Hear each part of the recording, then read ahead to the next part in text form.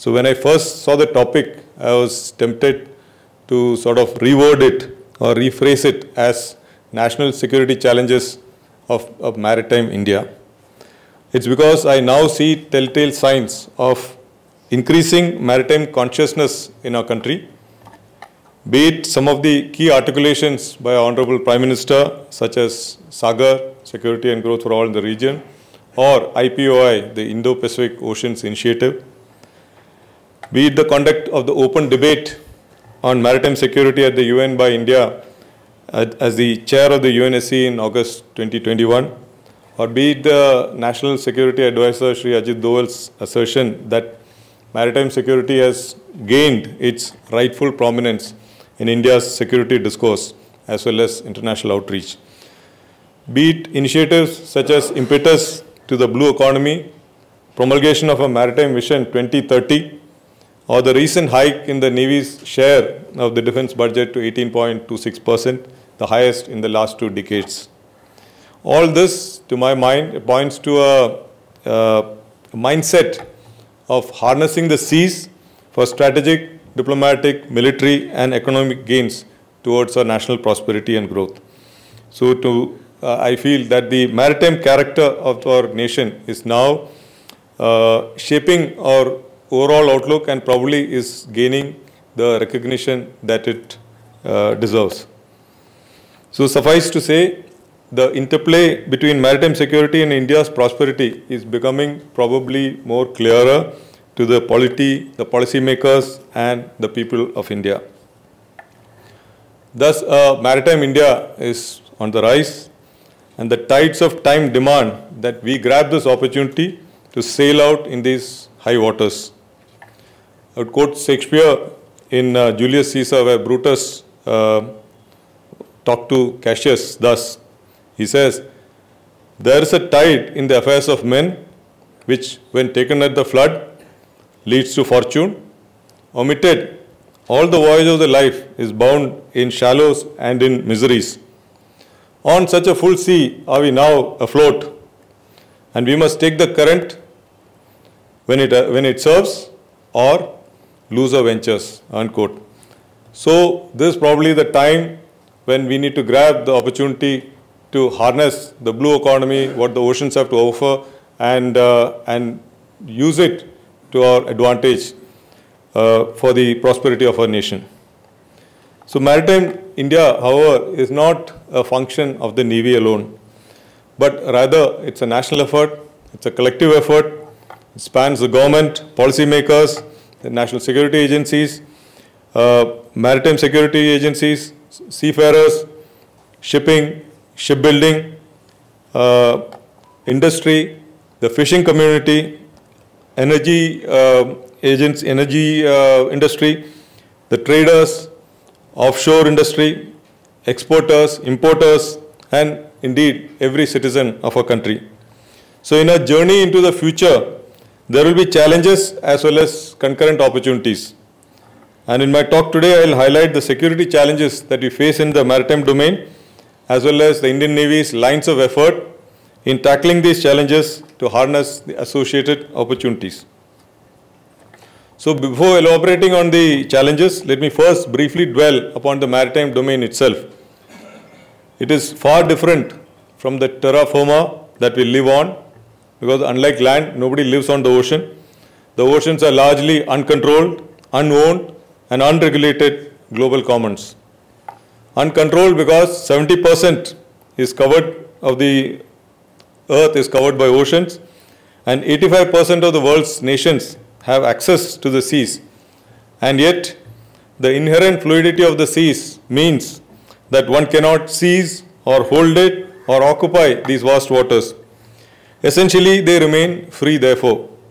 And the United Nations Conventions on the Law of the Sea 1982 provides clarity on jurisdictions and permissible activities upon the seas. However, the traditional and enduring principle of freedom of the seas limits absolute control by any one entity. So these uncontrolled seas are also largely unowned. Only about 5% of the seas, being territorial seas, are governed by the laws of the land, while the remaining 95% are free for navigation and overflight. So in terms of owning the resources, nearly 90% of the seas by volume and 64% by uh, surface area are beyond the exclusive economic zones and therefore beyond any state's jurisdiction. So this results in a cognitive dissonance towards comprehending the difference between the concept of sovereignty and right of a state on land vis-a-vis at sea. Uh, on land, we understand very clearly what is sovereignty. That is, you know, there are borders, everything within that belongs to us. We have sovereign rights and so on, the airspace above it, and etc. But when it comes to the sea, there is a, uh, a subtle difference because there is freedom of navigation, right of innocent passage, all this are associated in our EEZ and even in our territorial waters. So therefore, understanding this, uh, uh, this concept of sovereignty as it applies to the seas is something that uh, requires a little bit of, uh, you know, thought. So this lack of legal ownership translates into the seas remaining largely unregulated as well. Their vastness associated by the tyranny of distance because it takes a certain amount of time to go from one, one, uh, one port to another. It implies that the seas cannot be organized or governed to any significant distance from the land. Uh, just to uh, highlight the complexity of the problem, I just want to say that a ship which is built in one country, owned by a person from another country, hired by a third country, using the flag of convenience of another entirely different country, is crewed by multinational uh, national personnel, operated by some other uh, nation, carrying cargo for a multitude of personnel of uh, uh, of uh, receivers and transshipped through diverse parts in different countries. So you find that uh, it is quite a, quite a maze when it comes to the issues related to ships and uh, shipping and the maritime domain. These distinct characteristics in turn contribute to the oceans being a global commons, free for all to access, navigate and utilize in pursuit of respective interests. So being the global commons, the oceans also provide unfettered reach and access to the nation states and therefore they are a medium of choice for power projection. And this brings with it an element of competition in the maritime domain. However, since individual state uh, capacities significantly dwarf the capacity that is required uh, because of the immense potential of the seas in terms of natural resources, trade, connectivity, etc., there is a tendency for nations to cooperate, to come together. And also, uh, many of these challenges are transnational. It is not limited to just any one uh, nation. For example, if you look at piracy, armed robbery, drug smuggling, as well as national disaster, uh, natural disasters, climate change, they all are multinational activities and they foster convergence between nations, navies and maritime security agencies. Thus, there is also an inherent element of cooperation that the oceans offer. So, as a consequence of these elements of competition and cooperation, the states consider it prudent to ensure that uh, there is free and full use of the seas as it allows furthering of their own economic and strategic interests. That the maritime domain, with its nature of being uncontrolled, unowned, unregulated global commons, is unique in many ways. So with this as a background, let me now dwell upon India's maritime security challenges. I view the contemporary and future maritime security challenges through an interconnected trinity of eyes. Three eyes, I would say. Imperatives at home, influences from outside, and intrusive paradigms, which have an impact across all spheres of cooperation, competition, as well as our day-to-day -day lives. So beginning with the imperatives at home, the primary imperative for the Indian Navy is to protect our national interests in the maritime domain against inimical action by adversarial actors across the entire spectrum of conflict as well as below the threshold of conflict. Concomitantly and equally importantly, there is a need to ensure safe and secure seas to catalyze economic growth and prosperity. So in order to meet these imperatives, there are numerous challenges, but I will dwell only upon three notable aspects, namely the military, the economic and organizational. Firstly, the military challenges. India's security drivers have evolved in complexity over recent years. The international order is un undoubtedly undergoing a rapid transformation. Multilateralism is on the decline. Global institutions are losing their effectiveness. Great power competition is unfolding. And as an accompanying effect, the global commons are increasingly become, becoming contested domains, be it the oceans, be it space, be it cyber. And in this contestation, credible military power remains a crucial lever for protecting our national interests and expanding our strategic footprint. So in this, the Indian Navy plays an important role given the predominantly maritime character of our region, which is the Indo-Pacific. So we closely monitor trends and patterns of threats and challenges from traditional as well as non-traditional sources capable of impacting the maritime domain. So traditionally, India continues to face challenges posed by state actors across multiple spheres, including in the maritime domain. So while competition at sea is played out almost on a daily basis, at times testing limits, but without escalating into armed action, a war with potential adversaries can never be ruled out. Hence, the vital need to remain poised and prepared for such an eventuality while working hard to deter such a possibility.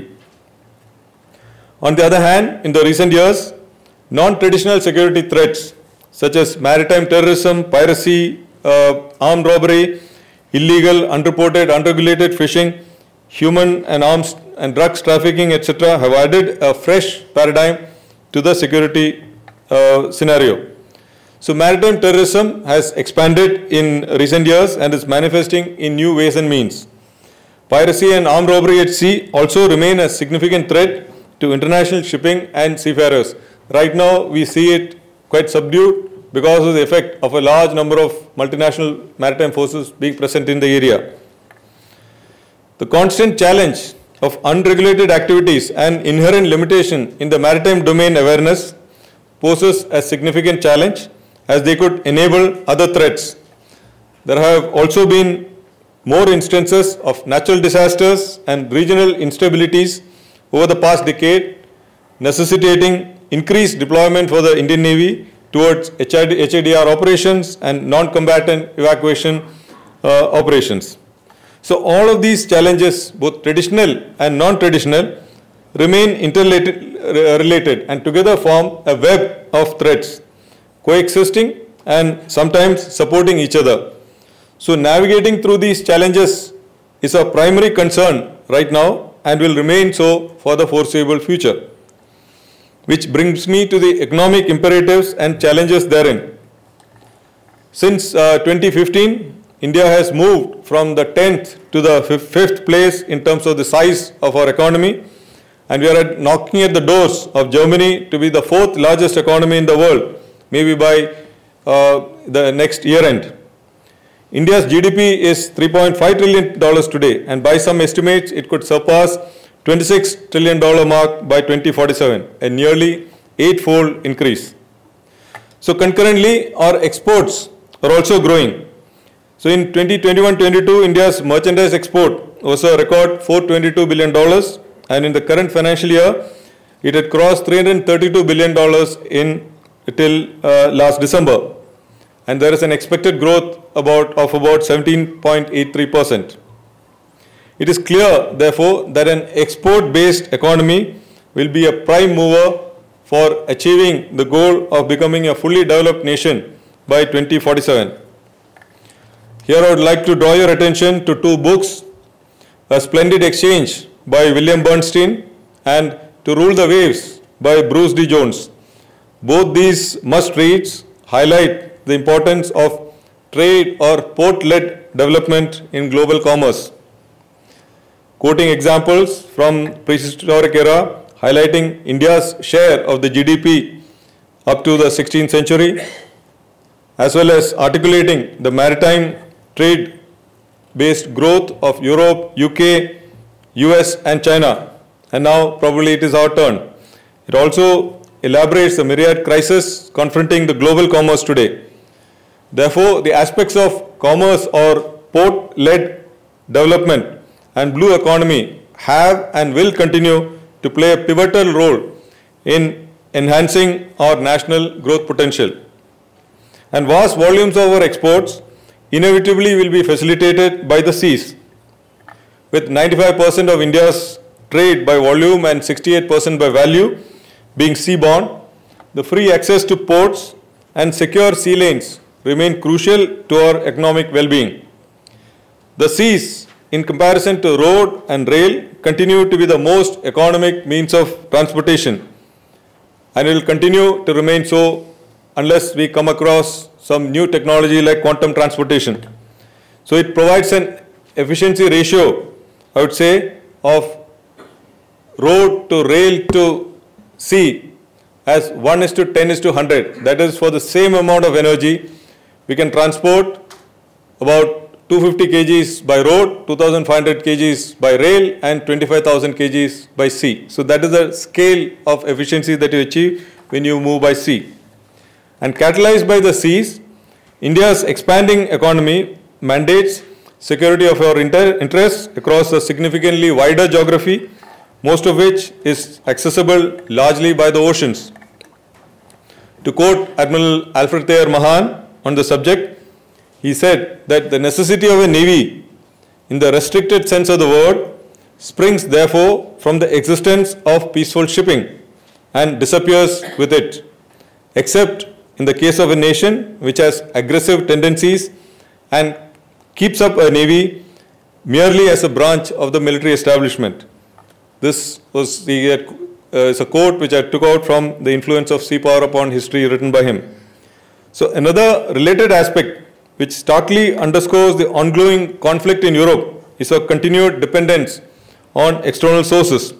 And the last few months have been a clear reaffirmation of the inescapable need for Atmanirbharta to be pursued in letter and spirit.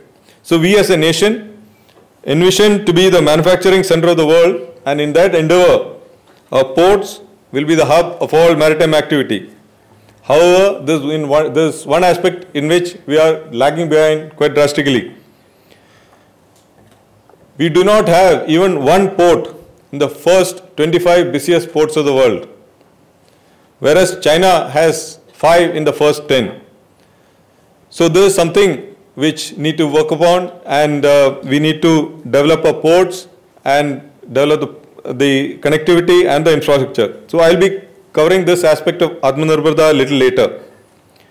Effectively addressing these economic imperatives will require organization strength, efficiency and synergy. So this brings me to the third imperative at home which is organization.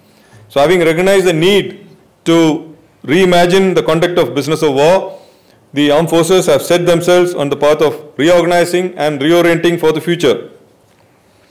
Establishment of the DMA appointment of the CDS, the Agnipath, theatrization, integration, etc. They are all steps in the correct direction. However, notwithstanding continued evolution of the services and the overall national security architecture, I must say that silos still exist. The imperative is to overcome turf protection tendencies as well as organizational inertia to change. And in doing this, it is important for the Navy and the services to get our act right as we transit to new organizational structures. Time is at a premium and we will need to move fast. So just like for any policy, it is not just the intention, but also thoroughness and efficient implementation that counts. Getting the organizational changes right will be the vital uh, aspect to reap the desired benefits of jointness and integration. So having spoken about home, let me also speak about away or the next I, which is influences from outside, by which I allude to the external issues impacting our interests. Primary among these is the increased centrality of the Indo-Pacific in the global geostrategic calculus. A large number of countries have come out with the Indo-Pacific strategy and many of them do not belong to the region as well. Indo-Pacific as a geostrategic reality is also accompanied by a return of great power competition.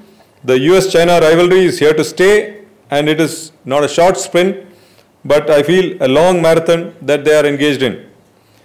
This has led inevitably to a naval arms race between the West and China, quite similar perhaps to the pre-World War I era between the Allied and the Central Powers. For instance, China has inducted 148 warships over the last 10 years, which is, I would say, is perhaps nearly the entire Indian Navy's size, and the process still continues. So this arms race has made our resource-rich region an arena for jostling for influence, markets, resources, and energy, among others. So notwithstanding this jostling, the intricately interwoven and uh, interdependent metrics of economic relations also mandates a certain level of cooperation among these very states. This simultaneous competition and cooperation accentuates the complexities of security. While much has been said of the ongoing conflict in Europe, the fact that despite extensive sanctions by the West on Russia, most of Europe continues to receive Russian energy underscores that even during conflicts, it is unlikely that states can be completely devoid of mutual dependencies. Climate change too is affecting our strategic calculus, be it melting of the Arctic or rising sea levels, threatening livelihoods of islands and littorals. Climate change challenges will impact the global interactions in the days ahead. It may in fact emerge as a major security challenge in our calculus. Amidst these influences from outside, driven by the churn in the Indo-Pacific and Europe, it will be a challenge to identify our own strategic space, create opportunities for engagement and partnerships, and balance relationships in the emerging complicated metrics of competitors, friends, and partners. However, military power alone will be grossly insufficient as this competition will transcend multiple domains encompassing not just the physical but also the digital and cognitive domains. And that brings me to the third I, which is intrusive paradigms. We are witnessing the rise of certain all-encompassing, all-pervasive, all-impacting, or in one word, intrusive paradigms. And these impose a unique set of challenges. The first paradigm is the one encompassing rapid technological advancements across various fields such as AI, machine learning, hypersonics, genetics, quantum, communications, laser and so on. And these create new capabilities with the prospect of delivering effects dispro disproportionate to their costs. So these offer a wide array of options in both military and civil domains. So developments like the ChatGPT are only an indicator of the immense potential that technological advancements bear. And these also provide nations with a broader spectrum of dissuasive, deterrent and coercive tools below the level of visible kinetic action. Such options are emerging as a preferred choice for states to achieve strategic effects. Equally, such capabilities are also available to non-state actors, terror organizations, drugs and arms running syndicates and the like with a multitude of new and maybe yet unknown options. An intersecting paradigm is the changing techscape that is cyber. It has permeated all spheres of our lives, ranging from meeting our daily requirements to governance and warfighting. Cyber is everywhere. It provides inimical actors freedom of action, non-attributability and near perfect invisibility in cyberspace. Balancing cyber dependencies with inherent security challenges will continue to retain primacy in our calculus as well. So intrinsically linked with all our activities is the cognitive domain and while gaining ascendancy in this domain has always been important, what has changed is the velocity of reach through social and digital media which makes it even more critical. Today, it works at the speed of light, unlike yesteryears. So in our context, the adversaries can exploit our open and, social, and uh, liberal society to attack and uh, attack the core of a nation by challenging our constitutional values. So our challenge is therefore to declutter the noise across the strata of national and military leadership and equally importantly for the common man. Thus the three I's, that is uh, imperatives at home, influences from outside and intrusive paradigms and their different manifestations define our primary security challenges in the maritime domain. So while these challenges have and will always exist, the Indian Navy stands ready to safeguard and promote India's security and national interests. And towards this, the Navy's efforts are aimed at adding value to the holistic national security ad, uh, apparatus, both figuratively and literally. And this is how we act as the principal manifestation of India's maritime power. So the word value as an acronym sim quite simply breaks down as V for vision, A for assurance, L for leveraging Atmanirbharta, U as a uniting force and E as an engagement. I will cover each of these uh, subsequently. The V in value alludes to the vision for the oceans. If the Indian Navy is to secure India's national interests, safe and secure seas become imperative. So given the expanse of the Indian Ocean region, which is 20 times the landmass of India, and this is just the IOR, not the Indo-Pacific, we recognize that no one can do it alone. Therefore, there is a need to collaborate with like-minded partners. So in this endeavor, the Navy is guided by the nation's intrinsically, inclusive vision called SAGAR, meaning oceans and expands as security and growth for all in the region. It envisages that all of us in the region will grow, prosper and develop together in a secure environment framed by mutual convergences. The values underpinning, underpinning this vision encompass what we call the five S's, that is Samman, Samvad, Shanti, Samriddhi and notably Sahyog or cooperation. So guided by this, the Indian Navy's vision is to remain a combat-ready, credible, cohesive and future-proof force in service of the nation.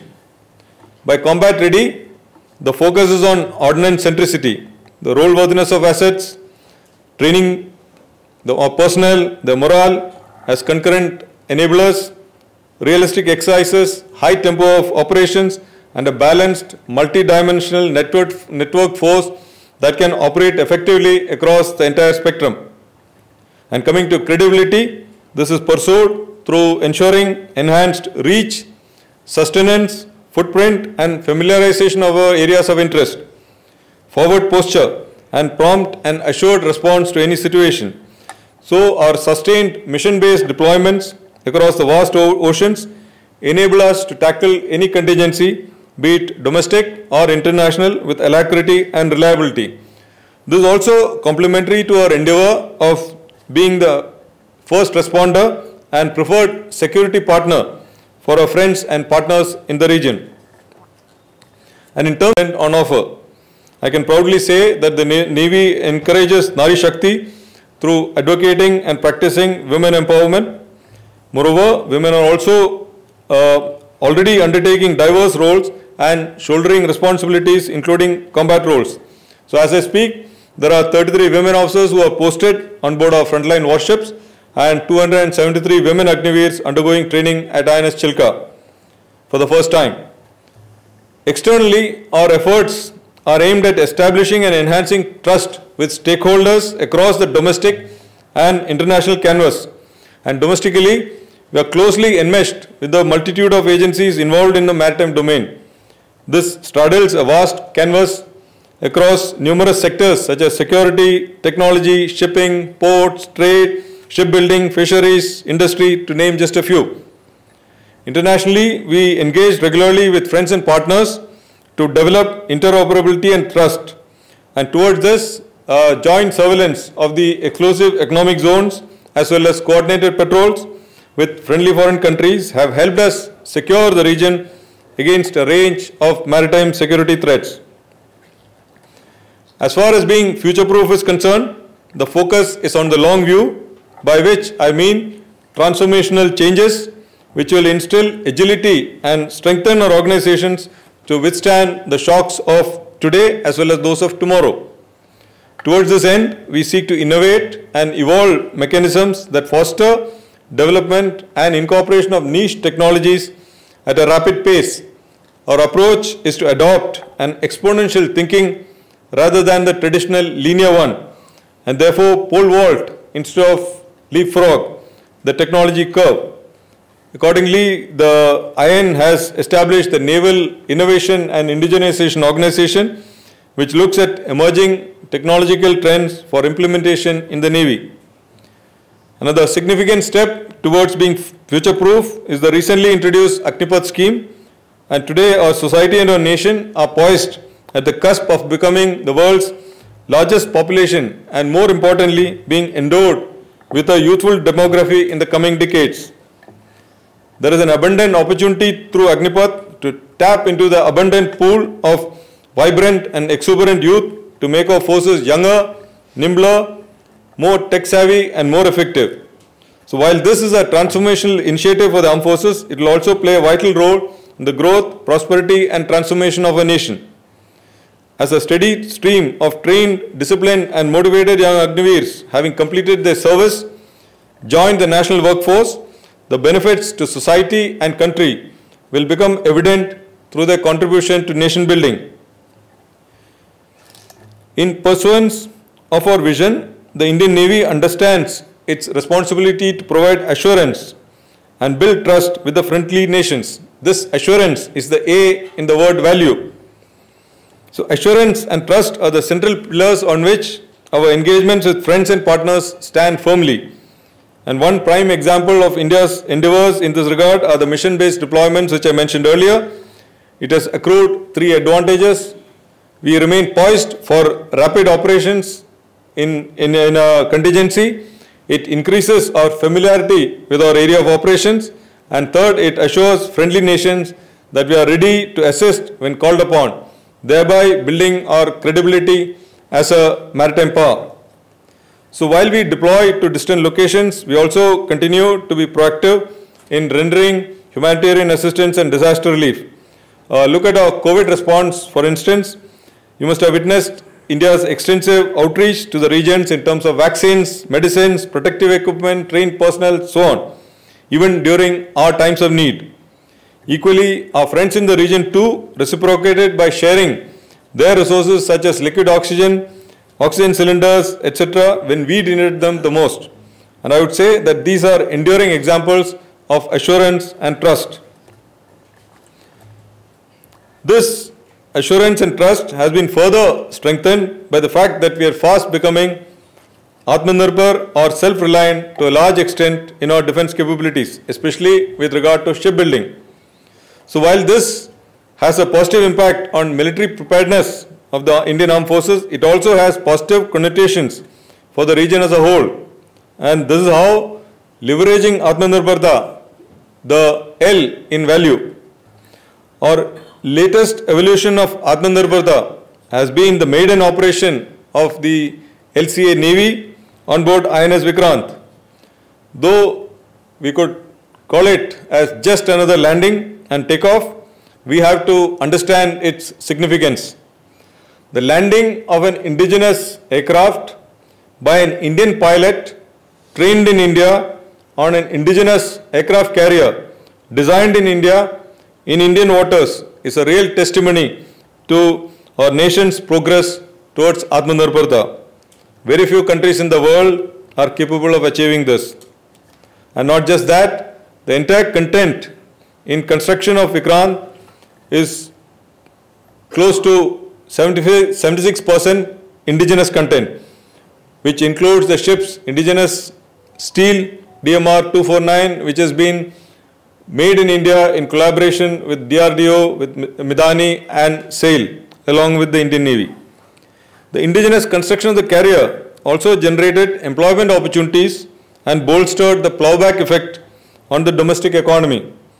close to 2,000 shipyard workers and 13,000 non-yard personnel, that is personnel working in the MSMEs and other ancillary industries were, were employed on a yearly basis towards construction of Vikrant, thus providing the estimated shipbuilding employment multiplier effect of 6.4. So Vikrant is a shining ex example of aspirational and Atmanirbhar Bharat and, will, and will proudly fly our Tiranga across the far reaches of the world for decades to come. It will be an icon of national pride, national strength, national resolve and national inspiration. So in terms of strengthening our indigenous industry, uh, the Indian Navy has been a major contributor to the rise of the Indian shipbuilding industry. This is underpinned by the Navy's single-minded focus on transforming itself from a buyer's navy in 1947 to a builder's navy. It is said that you cannot buy a navy, you have to build it. So today there are 41 out of 43 ships under uh, ships and submarines ordered by the navy under construction in Indian shipyards. And apart from Indian naval ships, warships from friendly foreign countries have begun utilizing Indian shipyards and naval dockyards for repair and refit of their platforms, which has enhanced the prospect of a export-driven Indian shipbuilding industry. For instance, one of the US Navy's dry cargo ship, USNS Charles Drew, undertook repairs at the Kattupalli shipyard last year. And uh, today, the USNS Matthew Perry entered L&T shipyard Kattupalli again for voyage, voyage repairs from 11th to 29th March of this month. So uh, we see the growing use of our shipyards by you know friendly uh, foreign countries for repairs, refits, and so on. Fiscally, the Indian Navy has always endeavored to reinvest a large share of its budget back into the Indian economy. Some of you may have already read the recently released Economic Survey 2022-23, which highlights and acknowledges the Navy's contribution to this aspect. It states that every rupee spent on shipbuilding triggers circulation of 1.82 rupees. Therefore, the Navy's current order book worth 1.5 lakh crores will result in circulation of nearly 2.73 lakh crores in the shipbuilding sector as a whole. So our endeavors towards Atmanirbharta are not just limited to shipbuilding. Indian Navy's efforts have yielded fruitful outcomes towards development of niche systems such as electronic warfare suits, sonars, weapons, sensors, uh, machinery systems with nearly 3000 systems and subsystems being indigenized. There are many other success stories pertaining to Atmanirbharta and defense which highlight the Im immense potential of the Indian defense sector. For instance, BrahMos, the supersonic cruise missile which is now being exported and the fighter aircraft Tejas for which an increasing number of countries are interested point to a prospective profitability of indigenous defense production ventures. And the nation has set itself a clear goal that of becoming a developed nation by 2047.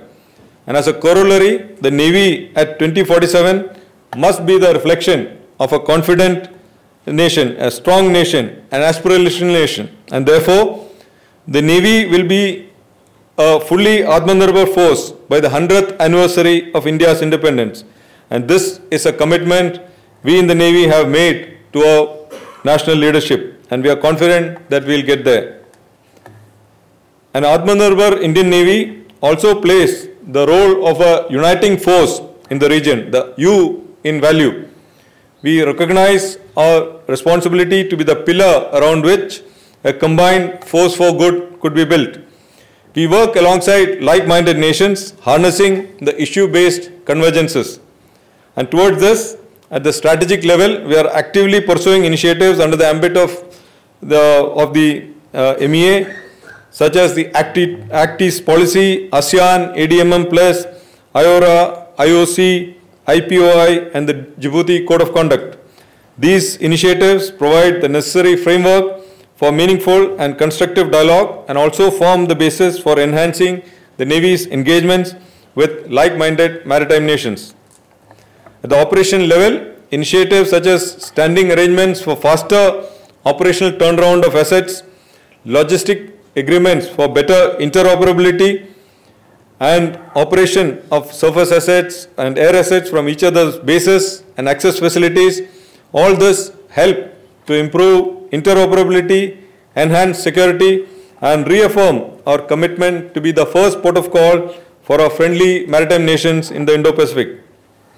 In addition, forging collaborative frameworks such as IONS, the Goa Maritime Conclave, and Milan form an important element of our commitment to the region.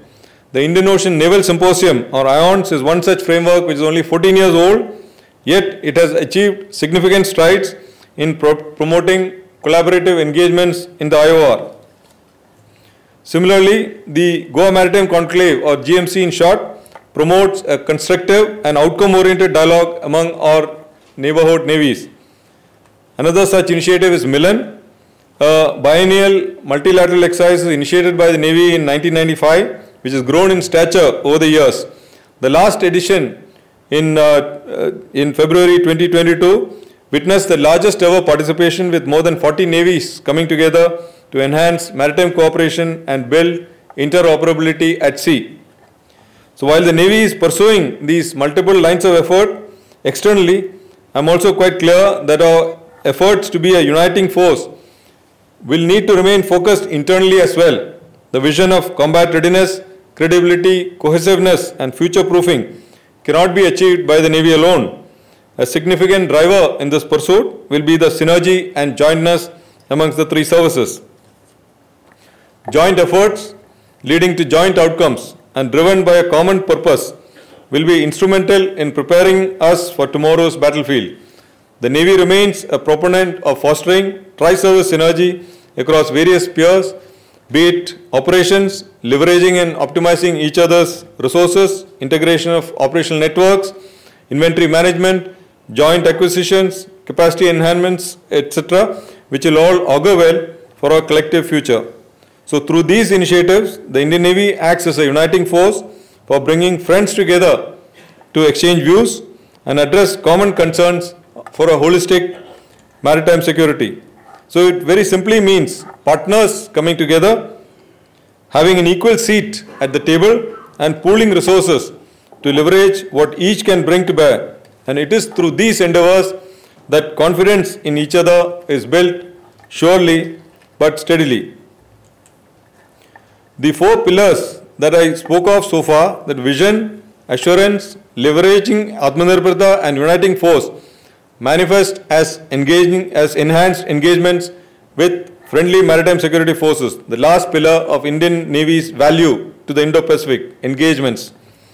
Our engagements in the region straddle multiple lines of efforts focused on a broad trinity of remaining the preferred security partner and, and first responder while concurrently enabling collective maritime competence. So towards being a preferred security partner, our engagements are based on a shared goal of enhancing the region's maritime security quotient. And in this endeavor, the Navy's persistent presence and preparedness across our areas of interest is a critical enabler in addressing shared security challenges. And as regards being the first responder, we have remained at the forefront in providing assistance over a wide spectrum of situations, including those related to natural disasters, medical emergencies, critical technical situations, and incident responses amongst numerous others. Our swift and timely response is enabled by the flexibility, mobility, and reach inherent to naval forces in general and the Indian Navy in particular, given our force structures and deployments. And coming to collective maritime competence, we understand that each navy or nation in the Indo-Pacific brings certain unique capacities and capabilities to the table. Expertise, intelligence, technology, uh, geographical locations and assets. So we harness these to tackle common challenges together by creating a participative, inclusive ecosystem rather than a prohibitive and elitist one. So while the Navy is pursuing multiple lines of effort, I am also quite clear that holistic maritime security cannot be achieved by our Navy alone. So navigating the turbulent and unpredictable tides of the present, and the ambiguities of the future can no longer be a single service or indeed even a joint service endeavor. The Honorable Prime Minister also alluded to the effort during his address at the Swavalambhan seminar in, on, uh, uh, in July last year. And I quote him, the collective national consciousness of various people of India is the strong basis of security and prosperity, unquote. The present demands thus a whole of government approach and the focused national efforts today in this regard are quite evident. And going beyond this, the future will also impose an in inescapable need for a whole of society approach towards which I think we are moving gradually. Collectively, we would need to remain persistent and patient in our efforts while ensuring regular presence in our areas of interest. I have every confidence that while we retain the ability to counter every challenge today, our abilities to address the challenges of the future will be even greater together. So with that, I conclude my talk and I look forward to the discussions. Thank you. Jai Hind.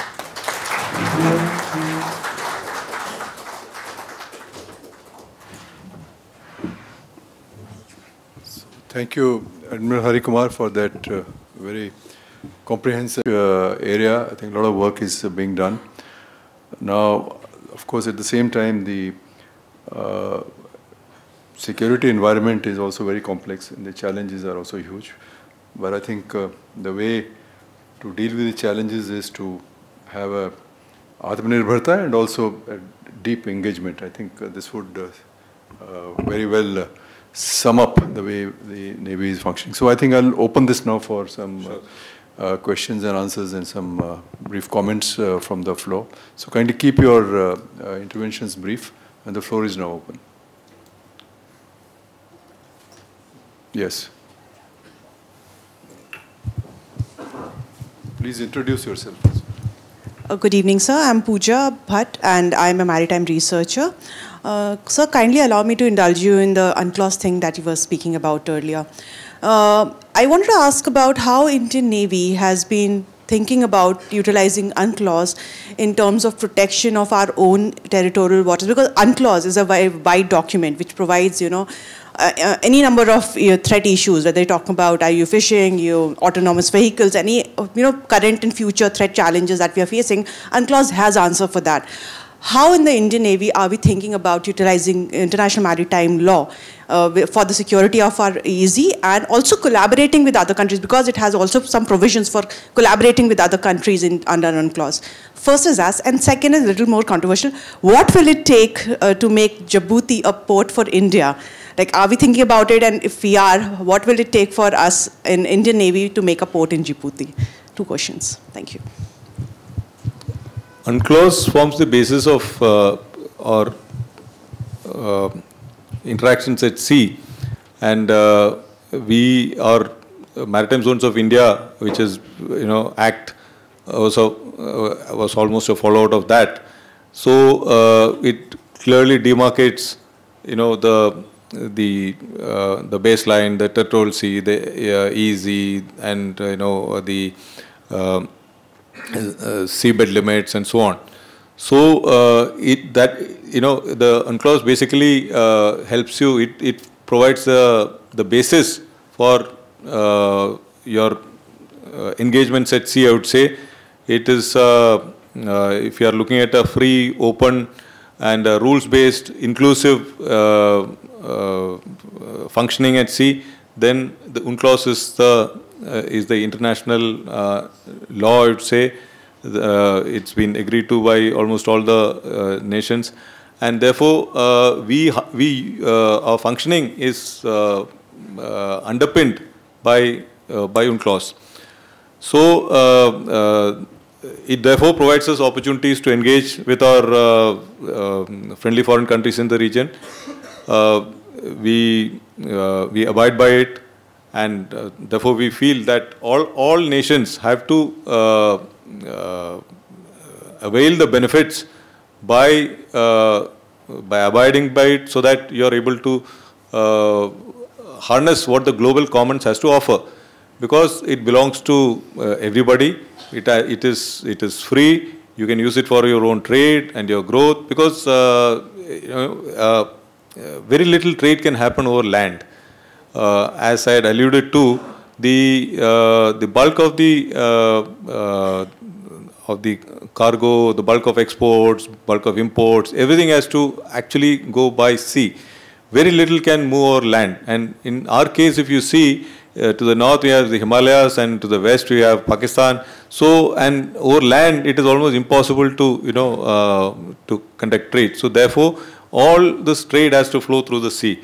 So that is why the sea is very important and for us, uh, you know, um, the international law which has evolved over centuries uh, forms the basis on which we, uh, the navies function at sea and uh, therefore we, uh, we believe in, uh, in ensuring a free, open and inclusive Indo-Pacific based upon a rules-based order. So that is what we are pursuing.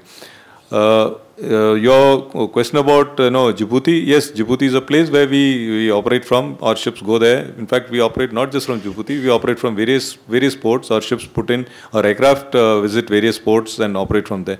So it is based upon our our interests, you know, as to where, uh, how do we uh, take forward forward our uh, our interest in the maritime domain. So the primary job of the Navy is to protect, preserve and promote the national interests of uh, our country in the maritime domain. And uh, so when we look at it, uh, wherever need to, we need to uh, uh, to operate, where we need to uh, have facilities for entering a port and refueling, etc uh, we uh, undertake operational turnaround with, with uh, uh in uh, nearly 35 ports in the region. So our uh, ships regularly put in to to Muscat, Salalah, to Djibouti, Mombasa, um, you know, Mauritius, Seychelles, Reunion. similarly, the ports on the east coast as well Uh, on the eastern side of the IOR as well. So, uh, so it is uh, it is quite uh, uh, essential for us to have this ability to to have operational turnaround at various you know ports. It's not just Djibouti alone. Yeah. Okay. Yes, please.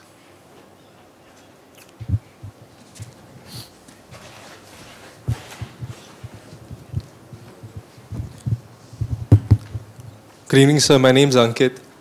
Uh, sir, it, I couldn't help but notice that in the V for vision, the word theatrization uh, was absent. I, I, know that you stressed the synergy between the three armed services, but what are your views on the need for integrated commands? Do you think that perhaps the Indian Navy doesn't need to be, uh, it, perhaps it's a synergy between the Indian uh, Army and the Air Force is more important and the Navy could retain some of its autonomy because the challenges that face uh, us, uh, China, for example, China and Pakistan, maybe does not involve the Navy. Uh. The uh, uh, we are all for the Navy is uh, all, always been a proponent of jointness. So if you see the Andaman Nicobar Command, it earlier it used to be Fortress Commander Andaman Nicobar, and then it got transformed into a joint command. So there, the Navy is the largest participant in that. And, uh, you know, uh, so Navy has always been in the forefront of jointness. Uh, various, I have had the good fortune of being the CISC or the first VCDS when the uh, first CDS was created uh, General, when General Rawat was appointed. I served with him for about uh, 15 months. we had, you know, worked on various various issues of of jointness, uh, optimization, and so on. A lot of uh, ground has been covered in those respects. Uh, now, with the new CDS, uh, those issues are being looked at again. I'm not in a position to comment upon, you know, the exact details of the theaterization, but let me assure you that adequate work is happening. And uh, the aim of, uh, what is the aim of theaterization? The aim of theaterization is to ensure that we get the effect that we want uh, with the, uh, with the uh, by using our assets in an optimal manner. And the times have gone when uh, you know even since the Second World War, General Eisenhower used to say that the times have gone since the time since a, a conflict or a battle could be identified purely as a land battle or air battle or a sea battle. Uh, if you uh, if you look into it very closely, you will find that there are always elements of it in some to some degree or the other. So uh, it is important that uh, with the resources that we have, we should be able to deliver the effects that we want, and that each service brings a, a strength that it has uh, to the table. So when we uh, when we bring the three services together, we just don't add, but we multiply the effects. So that is why theaterization is important. Uh, uh, theaterization has three aspects. Okay, uh, it is uh, unity of effort, unity of command, and unification. So these three, uh, because uh, I'm quite convinced that in a in when a when a battle requires the last ounce of of capability or firepower that is required, the commander cannot be left in a uh, position where he has to plead or negotiate or you know request or keep asking for some asset. He should have whatever he needs to win the battle. At the, you know that last ounce of uh, uh, capability that he requires must be uh, with him under his command. So that is that is the principle. That's why it is important to have uh, these three aspects of it. That is uh, unity of effort, unity of command, and unification. Okay. Yes, please. I don't have a question. I'm just supplementing, sir, what you have said. The historic win of 1971 is a testimony that Navy did a great deal in that, contributed a great deal in that. My friend is not of that age or vintage to perhaps appreciate it. But yes, the people who were involved are my neighbors today, and I know what it meant and what it you know created uh, in terms of our firepower and uh, the great grand victory. Thank you. Thank, Thank you. you, sir. I saw some hand here. Yeah.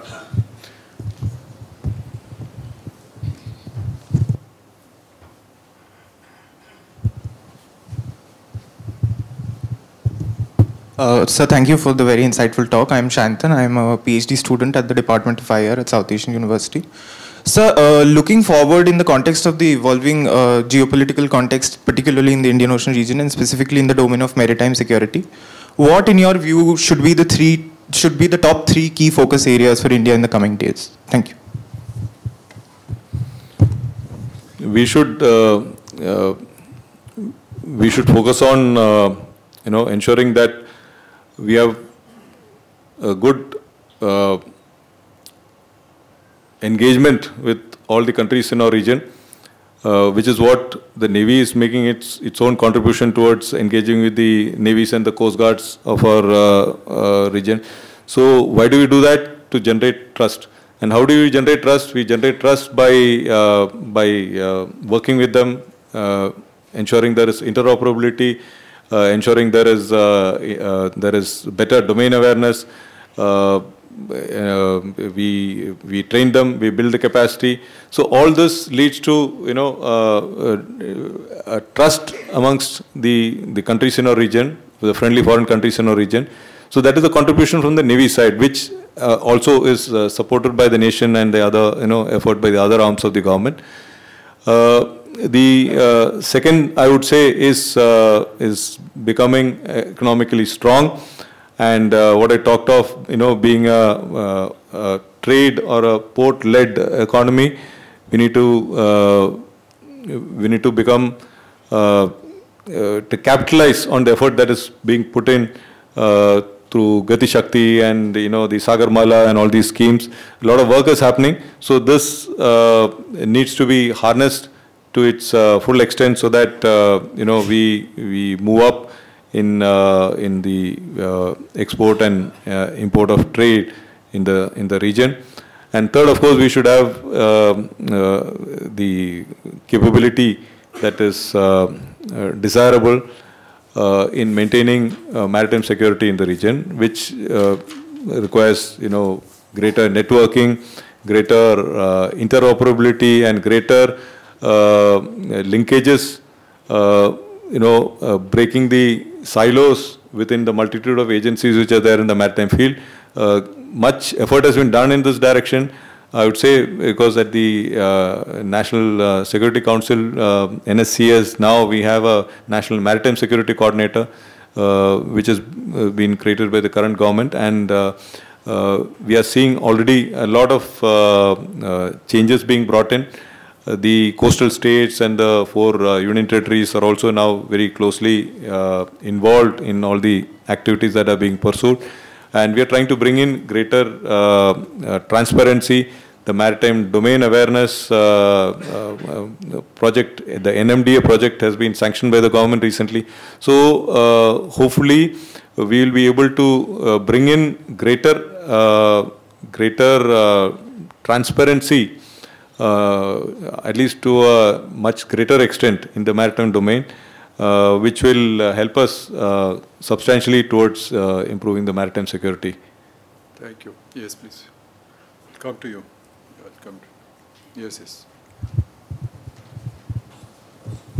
Um, good evening, sir. My name is Arindam Goswami, and I'm a postgraduate student from AIIS, Noida.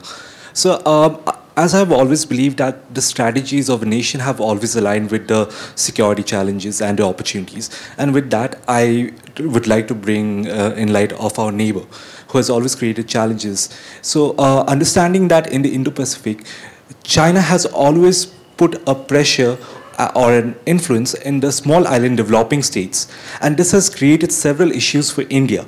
So understanding the fact that Chi- the Chinese strategies, strategies have been going strong, what does it mean for India in the maritime domain to counteract the same? And uh, so understanding that, sir, um, in your speech you have mentioned that we have to be prepared for the future uh, for the future challenges. So, as we know that there has been a recent discovery that uh, the continent Africa is splitting into two parts, and this has been uh, uh, published uh, in a peer journal. So, so uh, knowing that it would take a long time, but it would create certain uh, opportunities and challenges for India, knowing that the Indian diaspora is very strong in the eastern side. So, sir, uh, what would it mean? Uh, so, we would like to have your comments in such a scenario. See, uh, uh, the uh, as I said, the oceans are a global common. So much as we use the oceans, I think any other country can also, you know, use the oceans for their own growth and development. But we want it to be free, open, inclusive, and uh, on, based on a rules-based order. If someone tries to upset the rules-based order, then there is a problem for everyone. So that has been our stance, and that is what you know the uh, the uh, the Indian Navy works for, and therefore we collaborate with uh, like-minded nations, navies, to uh, ensure that the seas are uh, you know uh, are free, open, and remain as a global commons. The the issue of of influencing some of the islands island countries, this has uh, been well published and people are aware of it. Many countries are aware of it. Many many of our neighbors have uh, you know fallen prey to this. Uh, debt-laden uh, sort of uh, uh, you know crisis. Uh, uh, so this is uh, uh, this is being pursued by you know uh, some uh, some countries, and we have been assisting uh, our friendly countries in the IOR. Uh, uh, financially as well as materially, we've been supporting their uh, the maritime uh, forces in terms of capacity building, in, in terms of uh, training, in terms of capability, in terms of exercises, and so on. So that is one part we have been doing. It. The other greater challenge that we see in which which may emerge is the one due to climate change and the rise of sea level. This may result in climate refugees or climate displaced persons. A, it may be internal to a country, or it may be completely external. You know, it may happen to some of the countries in the region in which case we see there is a, a challenge, there will be a challenge of uh, migration, there will be challenge of, you know, um, of a national disaster, a natural disaster, how that needs to be addressed. There was a uh, study done by the National Maritime uh, Foundation, our National Maritime Foundation, which brought out that Maybe by 2070, uh, you know, this uh, rise in sea level may take Mumbai back to about 200 years earlier when she was seven islands. So, you know, that is the type of uh, effects that rising sea level can have. And uh, therefore, what will be the challenges? Therefore, uh, the need for a, uh, disaster resilient uh, infrastructure and so on. So, uh, these are issues on which, uh, you know, we are seized of. Uh, in fact, a study by the US Navy all, uh, in 2019 also said that a large percentage of their bases will get flooded uh, by 2050 uh, due to uh, climate change and uh, rise of sea level. Okay. Yeah, okay, please. Sir, I am Arun Agrawal, an engineer who reads little bit. Uh, sir, my question is, if a rogue state like Pakistan, I am naming them, if when it come, when push comes to show, we'll be using non-state uh, actors, as they call it. So in that case, it is your job basically to prevent India. So what is uh, the method of doing it? Uh, we uh, we are aware that uh, uh, you know they are they harbor terrorists. They they use them for uh, progressing their agenda. We saw 2611 as a outcome of that, and many of the of the changes that were brought in into the uh, maritime domain as far as the uh, security aspects are concerned were triggered, uh, uh, you know, uh, or accelerated with with that incident, and now there is there is great focus to ensure that you know the there is greater awareness in the uh, in the domain, and as I said, the domain is quite challenging because we have uh, you know close to four lakh uh, uh, fishing vessels which operate in our waters. Then over and above that, the large number of over 1 lakh ships operate in the Indian Ocean region. So, uh, and they are constantly moving. So the question of uh, detection, uh, identification, and then uh, seeing what they're doing is the challenge. So we try to uh, maintain uh, uh, robust surveillance. I would not, if you ask me, is it adequate? Uh, I, I won't say it is, it is uh, uh, optimal. We need to uh, constantly improve on it. We need to, with the, but with the assets that are available, we try to optimize and, uh, you know, devise strategies. So, um, uh, if someone asks, you know, do you need more? If you ask any commander, he'll always say that he needs more because uh, you try to imagine what is the you know the most challenging uh, situation, the most challenging enemy, and uh, therefore you know you'll keep asking for more and more resources, etc. But that is not the way. We need to see how best you can do your job with the resources that are available in an optimal manner. So that is what we are uh, trying to do. Uh, one of the challenges that uh, we face um, is of drug running, especially, and uh, that the drugs originate from uh, Afghanistan, then uh, it comes through Pakistan to the Makran coast, then it gets transshipped from small boats into uh, larger dhows there, and then it comes all the way down to somewhere near the equator at the junction between uh, the Maldives, Seychelles, and uh, Sri Lanka. It, then from there it gets transshipped to the the destinations and uh, it goes to any of these three countries or some of it finds its ways to uh, finds its way to India as well. So in the last year we had uh, um almost 8,000 crores worth of, uh, of drugs being caught just by the Indian Navy alone. And uh, what we do is we intercept them and we generally try and destroy it there itself, the, the trucks, and we give them food and water and fuel to get back wherever they have come from. So that is, uh, you know, we try to make it uh, expensive and uh, for them and not uh, a productive venture or not a, uh, a gainful uh, business. So uh, we hope to uh, keep intercepting them. But the challenge I would say is, uh, you know, just to just to tell you because uh, at sea, if you have to, uh, you know, you may come across in a, in the horizon, you may come across maybe six boats, okay. So if you have to stop one and just board it, it will take you about four hours. That is to board, to search, and go through every corner of that board because they have become very ingenious in uh, trying to hide it, you know, inside the hull, inside in different places and so on. So it takes a long time and effort to check that vessel thoroughly. So uh, it is a time-consuming uh, uh, aspect, and therefore, what is key is that you should have good intelligence. As if you know which is the vessel involved, then it is much much easier and much more surer. So therefore, we uh, we work closely with the national intelligence agencies also to try and get it. So wherever the inputs are correct, then we are more successful in trying to stop them. Thank you. Okay.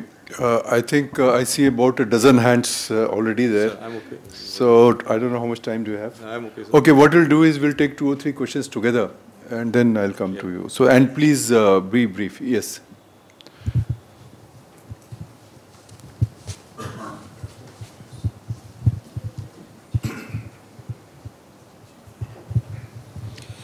Sir, I am I am R.D. Gupta, former additional DG CPWD, a civil engineer from University of Roorkee in 1967 batch.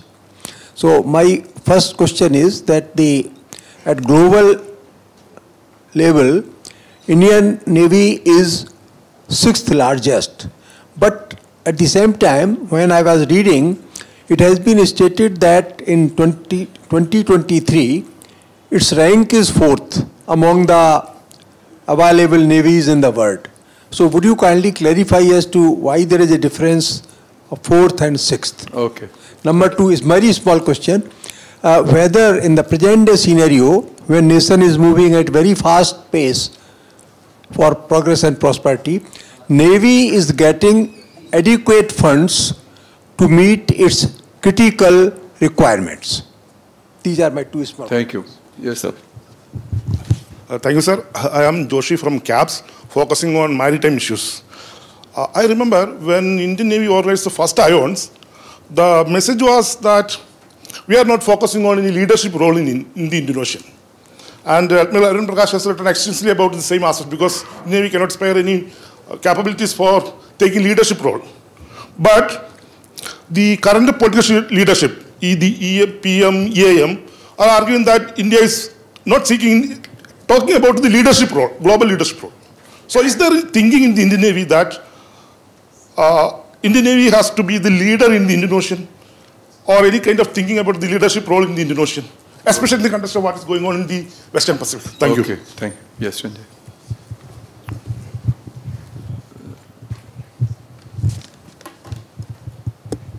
So there's a camera behind me, so I can't get up. So the Chinese port, the, the Chinese are building this port, this base in Pekua. It's almost complete. And it's too large for the two submarines they have. Now, it's going to be ready in less than a year, is what we are hearing.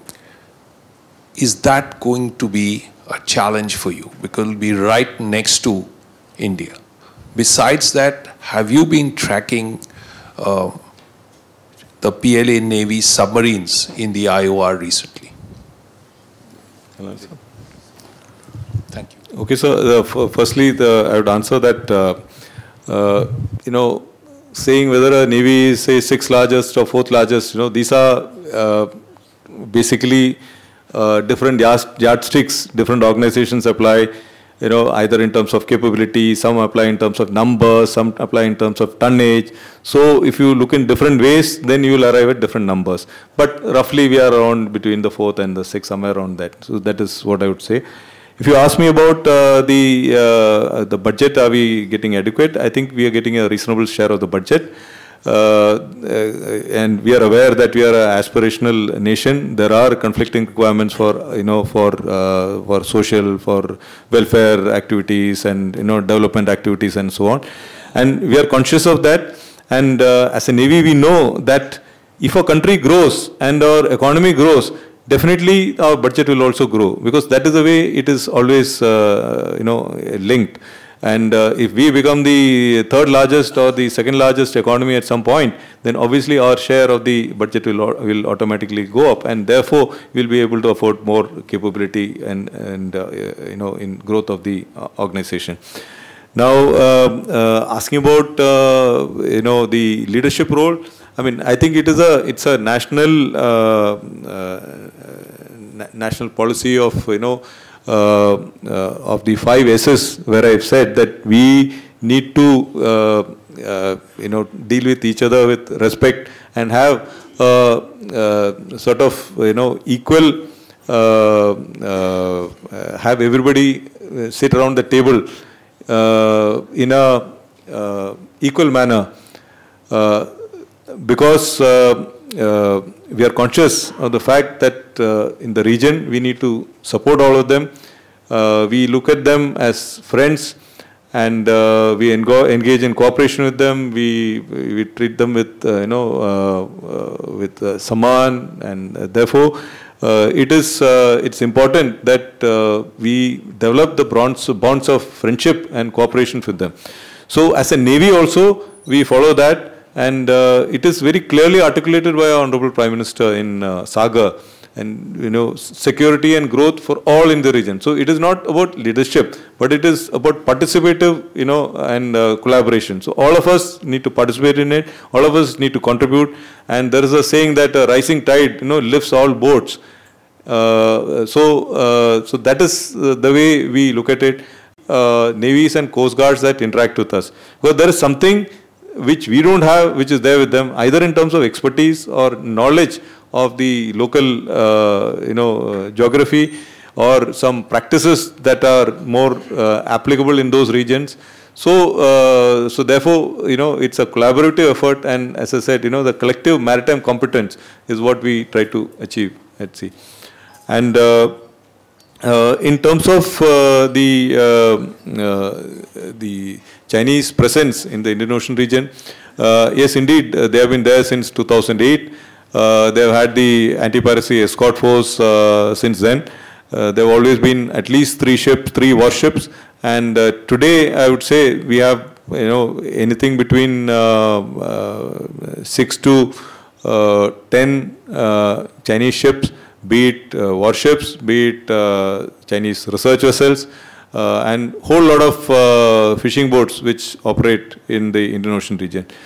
So uh, uh, whenever we uh, we detect or get uh, information of the of the Chinese presence or Chinese vessel entering the IOR, we do keep track of them. We we keep track as to you know what are their intentions. Uh, we keep them under surveillance. So uh, our strategy is constantly uh, evolving.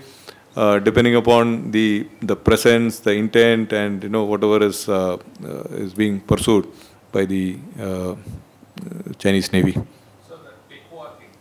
Yeah, we are we are aware of it, and we are monitoring the. okay.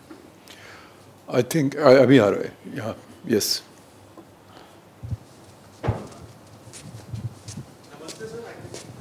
Yeah, please. I'm R.K. Dhawan from the University of Delhi.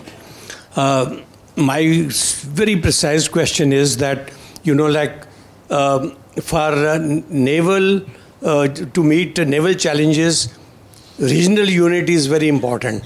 And uh, India is uh, one of the very important countries of Asia Pacific. So I would like to know whether, whether we have uh, any uh, solidarity, we are part of any solidarity group or do we have any bilateral agreement to fight together with friendly countries like Singapore or Australia or any such move that we have done or we are likely to do. Okay, thank you. Thank you. So I'll answer your question first. In the sense, we are part of various uh, various initiatives, I would say, uh, like IONS, for example, uh, you know, we are the founding member of Indian Ocean Naval Symposium. We are an observer in uh, WPNS, Western Pacific Naval Symposium. Now, these are all, and uh, you know, these are all, uh, you know, constructs where the navies participate we discuss, you know, we, uh, so that, you know, we, we, uh, dialogue is very important. So we, we speak, we speak, we discuss issues. Uh, the what is the ultimate aim of a of a navy or armed force? I would say uh, it is to deter conflict because the conflict doesn't you know serve anyone's purpose.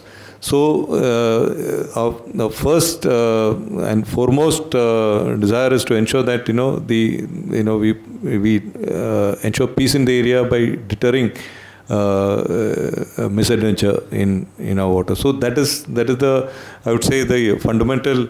Uh, aspect that we should look at and then if you are you know forced into uh, a conflict then of course we have to fight and win so therefore, uh, uh, we uh, we that is how we engage with the countries in our neighborhood. And I talked of the Goa Maritime Conclave and various other small small the Colombo Security Conclave, and we are part of a whole lot of regional initiatives. We, we strongly feel that uh, there has to be regional solutions to regional problems. And because we are, we are here and we are the uh, largest uh, resident naval power in the region. So therefore, uh, we have to you know engage with all of our you know like-minded friendly countries and you know work together to maintain peace and and by engaging with them. Uh, by exchanging information, by ensuring maritime domain awareness, we ensure that various illegal activities, uh, you know, which are below the level of conflict, get addressed. And when you keep the region relatively safe, then uh, and you engage with them, then the prospects of you know maintaining you know stability and peace, uh, and uh, rather than it escalating into a conflict. Yeah. So uh, you had talked of. Uh, uh, alliances, I don't think India is ever thinking of getting into alliances. That's a political question. the navies don't engage in alliances we uh, we engage with other navies in exercises, in multilateral exercises, in bilateral exercises, in various constructs. Uh, these are professional uh, engagements. So we work together to ensure that you know there is uh, understanding, interoperability, trust, all those things, so that we generate uh, the confidence in each other and the ability to uh, to respond to some of these you know challenges as and when they arise. Okay. Uh, sorry, uh, your question I missed out. Yeah, the the the the uh, the, the, Chinese. Uh, yeah, the, the, see the you know uh, Chinese uh, China like all other any other nation has got the the right to use the seas for its you know peaceful requirements and prosperity. So they have various trading arrangements with countries in the IOR uh, of course, they have uh, they have their first uh, base, overseas base at Djibouti, where they have their assets deployed. So we, uh, as a resident naval power in the Indian Ocean region, we keep uh, monitoring the activities here, not just by China, but by all, all, the other multinational forces that operate in the region. So our aim is to ensure that uh, the peace and stability doesn't get uh, upset. Uh, so uh, our strategy is to ensure that we observe them, we keep track of them, and this also provides inputs into our force planning and capability development structure plans for the future.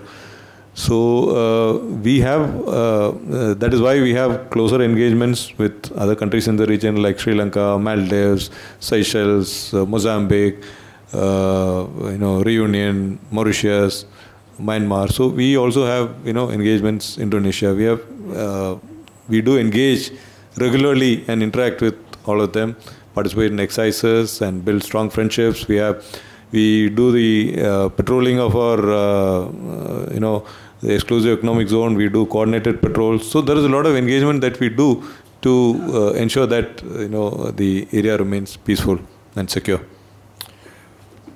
So thank you very much, sir, for uh, you've been at it about one and a half hours and patiently answered all the questions in uh, great uh, depth and detail.